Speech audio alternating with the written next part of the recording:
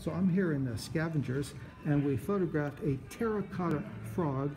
And how much is he? He's forty-five dollars. He's forty-five dollars, and um, I guess that's it. He's a terracotta frog for forty-five dollars.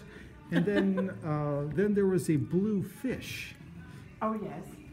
And um, see, what's I like to get onto a theme, so I found the, the fish, and he's he's awful cute, and he's awful blue. And uh, so, what can you tell me about this blue fish? You know, I think he's probably a reproduction fish, which normally I don't do reproductions, but Well, he everything's a reproduction. from of- sometime, I'm a reproduction. right.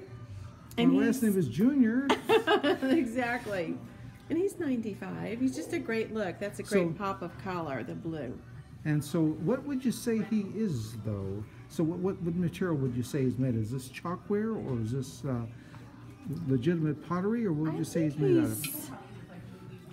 I think he's just a piece of pottery. Okay, so he's a piece of pottery, Mm-hmm. and is this from the great uh, fish era of about the late uh, 60s or so, or how old would you say he is? I'd say he is from that era, probably from the '60s. Okay, well, great. So we're here at Scavengers, and what is your name, young I'm lady? Gilliam. Gilliam. Would you spell Gilliam? G I L L I A M. Is your last name Scavenger, or is that just the name of your It's business? Gilliam Grayson. I'll give you a card. Okay.